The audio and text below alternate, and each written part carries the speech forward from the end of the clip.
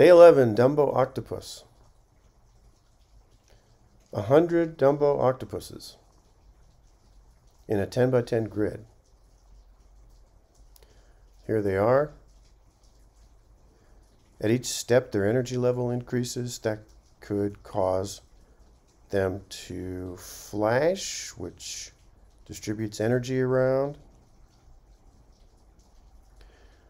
Let's look at how I did this. One thing I did, and this is kind of modeled after what Peter Norvig does with his Advent of Code solutions, and that is to um, extract commonly used code. So I've done that a little bit with Create Grid, which takes some input data and makes a NumPy array out of it, a two-dimensional one. And then um, neighbor coords, at least two of these problems now involve kind of looking around a point in a two-dimensional space uh, for neighbors. So one of them doesn't use diagonals, and this one with the octopuses does.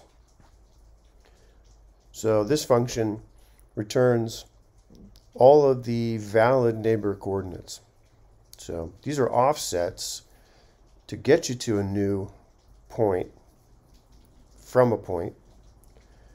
And we take the starting point, we add the offsets, and if the coordinates that result are valid, then we yield those.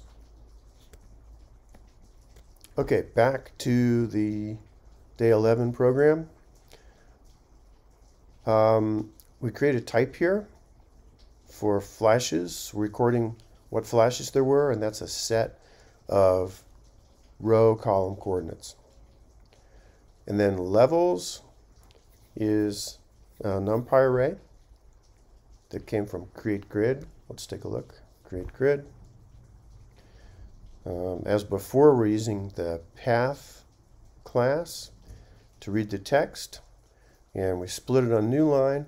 And then for every digit in each line, we turn it into an integer and feed that to the NumPy array.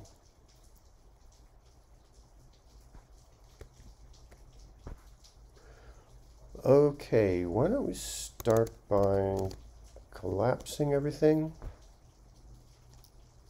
We'll look at part one. Part one runs 100 steps and counts the flashes. So you can see that we're summing the result of the step function for the 100 steps.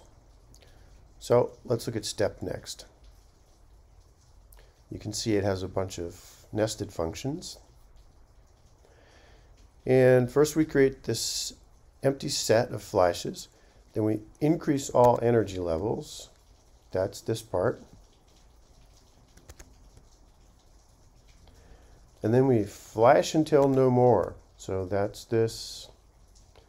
This process continues as long as there's flashing to do. Increases the energy level of all adjacent octopuses by one. So let's look at flash. Well, actually, let's look at increase all energy levels and then flash until no more. Increase all energy levels for every row and column, add 1. Now, flash until no more. Keep looping. And if you find some octopuses with energy levels over 9, we'll do something with them. Otherwise, we'll break out of this loop. So this is the loop that just keeps going as long as there's more work to do. And in here, we have a function needing flash coordinate pairs. So these will give us the coordinate pairs of all octopuses needing a flash. And we add their that octopus's coordinates to the flashes set of tuples. And then we call flash. Let's look at flash next. Increase the energy level of adjacent octopuses and reset the level of this one. So here we use the neighbor coords function we looked at a little while ago. And for all of the valid neighbor coordinates, we increase the level. And then we set the level of this octopus at this row and column to zero. Going back, here's where we called flash from. Here's where we called flash until no more. Uh, reset over nines. So what does that correspond to here? Um,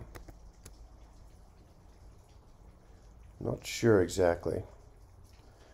Uh, so everything that's every octopus that has an energy level over nine now gets reset to zero. And then we reset all of the octopuses that flashed.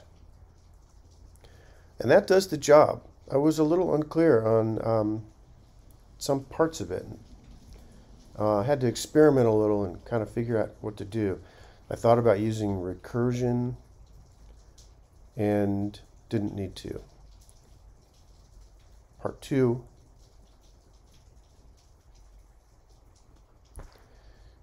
Needs to tell you at what step all octopuses flashed.